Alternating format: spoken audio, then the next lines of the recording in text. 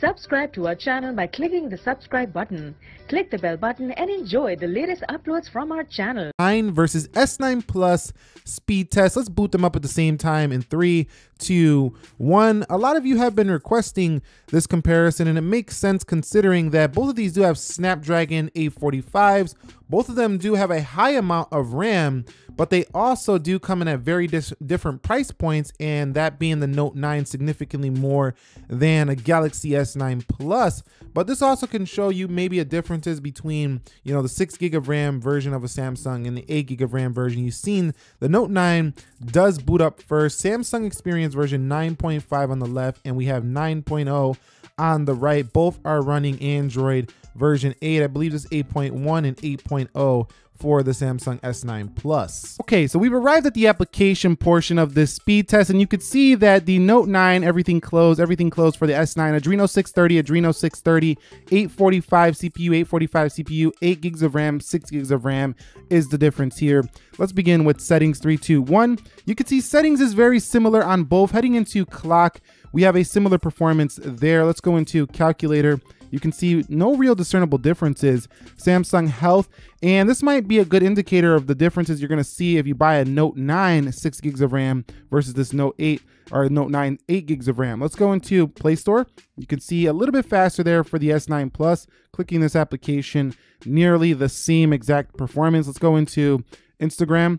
You can see Instagram is first on which one? Neither. It's actually a pretty equal draw there. Going through the application, no real differences. Let's go into Twitter. You can see Twitter is first on the right, a little bit over the Note 9. Let's go into the Snapchat application, and again, almost identical. Let's go into WhatsApp, and looks like the S9 slightly. Let's go into YouTube. And YouTube is first on neither. It's basically the same performance here, which is not surprising considering that both of these phones do have the same processor on board. The Note 9 has to push a little bit of a larger display. Let's go into Prime Video. Hopefully we get no ads here and we don't. Equal performance again. Let's go into Amazon.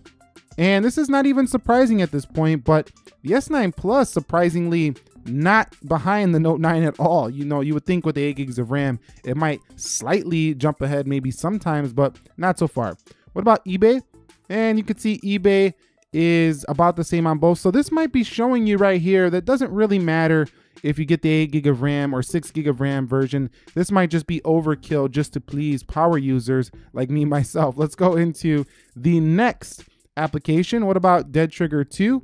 And you could see Dead Trigger 2 is going to open first on, I look like the Note 9 was slightly ahead, but if we hit play, we're going to see which one can load this first. All right, so let's hit play on both and see which one can get into the game first. I do have high graphic settings on both of them. Again, because these are both similar GPUs, they should load about the same, and you've seen they did, but I'm surprised that the S9 keeps coming ahead just a little bit over the Note 9. But you mean, you could argue that, again, like I said earlier, smaller display might be helping that fact. Let's go into PUBG Mobile to see which one can load this game up first. I will skip through this as this one does take quite some time to load up, and we'll get into the starting the match section. Okay, so we're back, and the Note 9 definitely won here when it comes to getting into the game. So the Note 9 was faster to load up this more graphically intensive PUBG Mobile. So let's just see which one can start the match first here on both. And the Note 9 wins this category over the S9 Plus. And I tried this before the video started on the PUBG Mobile, and it seems like the Note 9 keeps winning that test. Let's go into slither.io and see which one is first. And you could see that it looked like maybe the S9. It's so close. It's really hard to see. Let's hit play against IO and let's see if I can get a couple wins really quickly here. Oh no, get away, get away, get away. Okay, let's get out of there. Let's go into the next one, which is gonna be Subway Surfers and see which one can load this up first. And both are just flying through this load time. And you could see again, I mean, literally, if you bought a Note 9 or an S9 Plus, 6 gigs of RAM, there's no real difference you're going to see in the day to day on the performance, which is actually pretty impressive considering that you would think Android needing 8 gigs of RAM, not really, 6 gigs of RAM might be enough.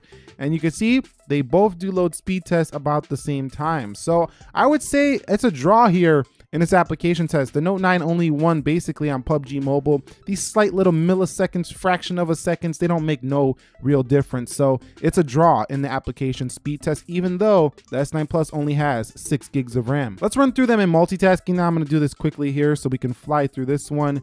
Geekbench, I don't think we're gonna see any real differences again on this aspect. I haven't had really any reloads for the S9 Plus because of its 6 gigs of RAM, and I haven't had any reloads at all with the Note 9 because of its 8 gigs of RAM, so this shouldn't change things too much. And this is one of the true benefits of buying a Galaxy phone right now is the ability to multitask and still have those applications open. Now, a lot of people do complain about how you're going to see a lag a little bit here and there on the Galaxy S9 or on any Galaxy phone for that matter. But this is 2018 and these phones don't really have that. And some people have been arguing that the touch latency is just ridiculous on here.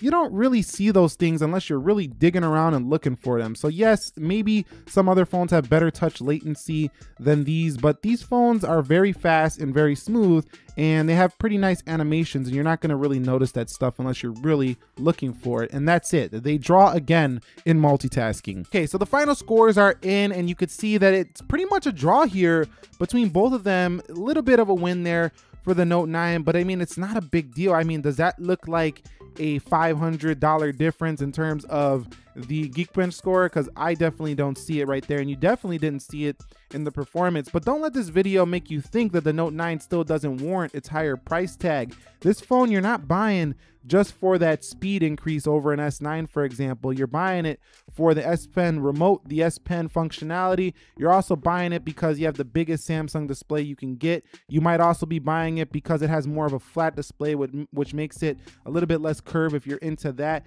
You also might be buying it because it gives you 512 gigabytes of storage and maybe 8 gigs of RAM will play a role in the long term when you have this phone a very long time and you want it to stay snappy. That might help it out a little bit over the S9 Plus, but as it stands right now, there's really no difference in the speed department. So I think that this video answers a very important question. Should I buy a 6 gig of RAM version Note 9 or an 8 gig of RAM version? You've seen here based on the performance of the 6 gig of RAM S9 Plus there's probably zero differences between them. Also, if you don't need the S Pen, just save yourself some money and get yourself the S9. It's a little bit sleeker, it's cheaper, and it definitely does basically the same things. The camera performance, I've already been testing the Note 9, is exactly the same basically as the S9 Plus. Your thoughts, questions, comments, feedback, which ones do you think are the better deal here, the S9s or the Note 9s of the world? Let us know down below in the comments section. Are you skipping these out? You're waiting for the S10, you're waiting for the Note 10.